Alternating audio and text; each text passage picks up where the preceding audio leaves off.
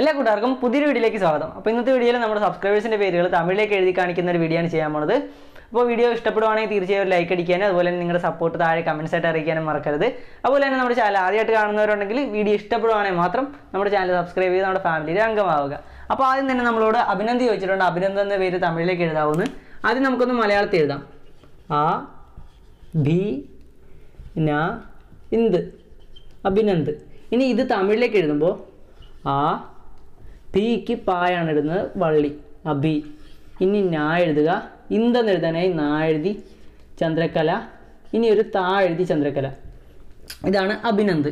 അപ്പോൾ അടുത്തായിട്ട് അനീഷ് വെച്ചിട്ടുണ്ട് അനീഷ് അക്ഷരം തമിഴിലേക്ക് എഴുതാവുന്ന. നമുക്ക് ആദ്യമാവുന്ന മലയാളത്തിൽ എഴുതാം. ആ നീഷ് അനീഷ്. ഇനി അക്ഷര. ആ ഇക്ഷ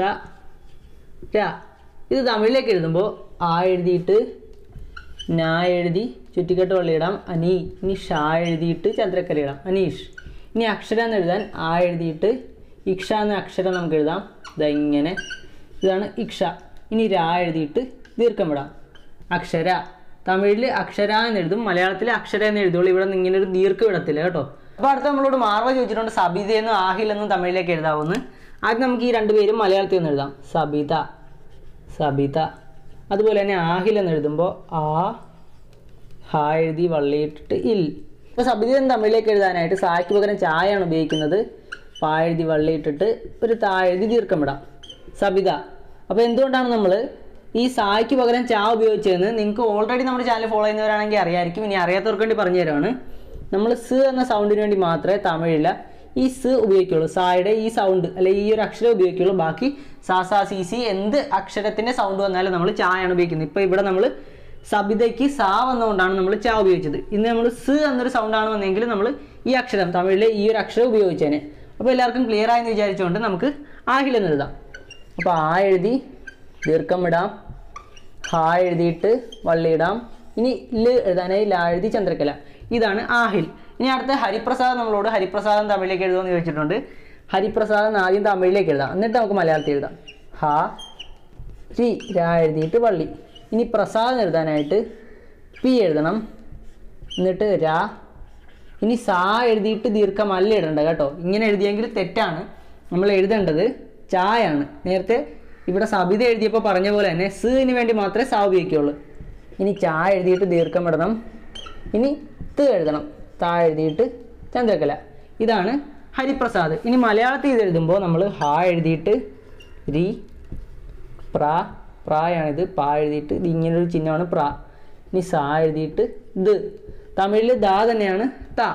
അപ്പോൾ ഇനി ബാക്കി പേരുകളിലേക്ക് പോയേക്കാം. അപ്പോൾ അടുത്തത് നമുക്ക് ആദിത്യ എന്ന പേര് തമിഴിലേക്ക് ഒന്ന് എഴുതാം.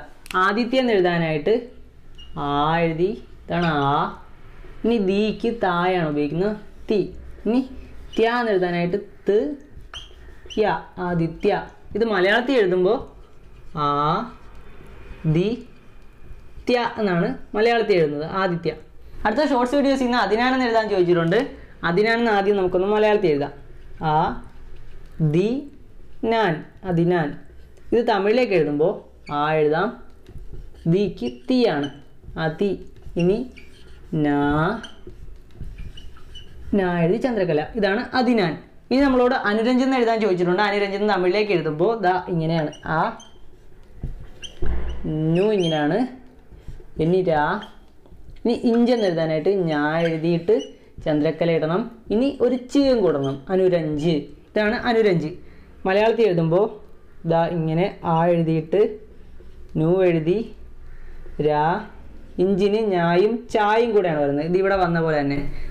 ഇവിടെ ഞാൻ കൈ എഴുതിയപ്പോഴേക്കും കൈ കൊണ്ട് മാഞ്ഞു പോയതാണ് കേട്ടോ. അപ്പോൾ നമ്മൾ അഞ്ചഞ്ചെന്ന് എഴുതിയിട്ടുണ്ട്. അടുത്ത് നമ്മളോട് സ്വഹം സർക്കാർ ചോദിച്ചിട്ടുണ്ട്. സൊഹം എന്ന് തമിഴിലേക്ക് എഴുതുമെന്ന് സ്വഹം എന്ന് എഴുതാനായിട്ട് ചോ എന്നാണ് എഴുതുന്നത്. പക്ഷേ സോ എന്നാണ് വായിക്കുന്നത്. കാരണം നമ്മൾ ഓൾറെഡി പറഞ്ഞിട്ടുണ്ടായിരുന്നു. സ് എന്ന സൗണ്ടിന് വേണ്ടി മാത്രമേ തമിഴിലെ സാ ഉപയോഗിക്കുകയുള്ളൂ. ബാക്കി എല്ലാത്തിലും ചായാണ്. ഇനി ഹാ എഴുതിയിട്ട് മാ എഴുതി ചന്ദ്രകല. ഇതാണ് സൊഹം. മലയാളത്തിൽ എഴുതുമ്പോൾ സോ ഹം ഇങ്ങനെയാണ് മലയാളത്തിൽ സൊഹം എന്ന് എഴുതുന്നത് അടുത്ത നമ്മളോട് ഗ്രീഷ്മ രവീന്ദ്രൻ ചോദിച്ചിട്ടുണ്ട്. ഗ്രീഷ്മ എന്ന പേര് തമിഴിലേക്ക് എഴുതാവുന്ന. നമുക്ക് ആദ്യം ഒന്ന് മലയാളത്തിൽ എഴുതാം അല്ലേ? ഗ്രീ ഷ്മ ഗ്രീഷ്മ. തമിഴിലേക്ക് എഴുതുമ്പോൾ കീ ആണ് ആദ്യം എഴുതുന്നത്. കീ രീ ഷ് മാ. മാ എഴുതി ഇതാണ് തമിഴിൽ ഗ്രീഷ്മ എന്ന് എഴുതുന്നത്. കി ടി ഷ് മ. ഗ്രീഷ്മ. ഈ ഒരു അക്ഷരത്തിന് പകരമാണ് നമ്മൾ കീരി എന്ന് എഴുതുന്നത്. ക് എന്ന് എഴുതാത്ത എന്തുകൊണ്ടാണെന്ന് വെച്ചാൽ ആദ്യം ഇങ്ങനെ ക് ടീഷ്മ എന്ന് എഴുതിയാലും കുഴപ്പമില്ലായിരുന്നു പക്ഷേ ക് എന്നൊരു സൗണ്ട് അല്ലെങ്കിൽ ക് എന്നൊരു ലെറ്റർ നമ്മൾ ഒരിക്കലും ഒരു വേർഡിന്റെ തുടക്കത്തിൽ ഉപയോഗിക്കത്തില്ല. അതായത് നമ്മൾ കൃഷ്ണൻ എന്ന് എഴുതുമ്പോഴും നമ്മൾ കീ തച്ചാണ് എഴുതി തുടങ്ങുന്നത്. കാരണം തമിഴ് ഗ്രാമാറ്റിക്കൽ എററാണ് നമ്മൾ ഒരു വാക്കിന്റെ തുടക്കത്തിൽ ക് അല്ലെങ്കിൽ ത് എന്നൊക്കെയുള്ള ഒരു വാക്ക് ഒരു അക്ഷരം കൊണ്ട് തുടങ്ങുന്നത്. അപ്പോൾ അടുത്ത ക്രാഫ്റ്റ് ബൈ അഭിരാമി എന്ന ചാനലിൽ നമ്മളോട് ചോദിച്ചിട്ടുണ്ട്. അതിനെ എന്ന പേരൊന്ന് എഴുതി കൊടുക്കാവുന്ന അദീന എന്ന് മലയാളത്തിൽ എഴുതുന്നത് ഇതാ ഇങ്ങനെയാണ്. അദീന. തമിഴിൽ എഴുതുമ്പോൾ ആ താഴെഴുതി ചുറ്റിക്കെട്ട് വള്ളി. ഇനി ഒരു നായി കൂടെ എഴുതണം. അദീന. ഇതാണ് തമിഴിൽ അദീന. മലയാളത്തിൽ ഇതാണ് അദീന. അതുപോലെ തന്നെ ആരാധ്യ അൻവേദ് ബ്ലോഗിൽ നമ്മളോട് ഷാൻവിൻ എന്ന് എഴുതുമെന്ന് ചോദിച്ചിട്ടുണ്ട്.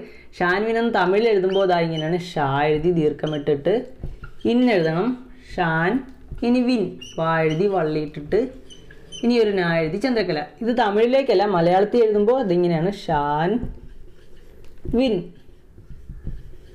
അപ്പോൾ എല്ലാവർക്കും വീഡിയോ ഇഷ്ടമായെന്ന് വിചാരിക്കുന്നു. ഇഷ്ടമായെങ്കിൽ ലൈക്ക് അടിക്കാനും അതുപോലെ തന്നെ നമ്മുടെ ചാനൽ സബ്സ്ക്രൈബ് ചെയ്യാനൊന്നും മറക്കരുത്. അപ്പോൾ നമ്മൾ സപ്പോർട്ട് ചെയ്യുന്ന എല്ലാ കൂട്ടുകാർക്കും ഒരുപാട് നന്ദിയുണ്ട്. എല്ലാവരും take care bye bye guys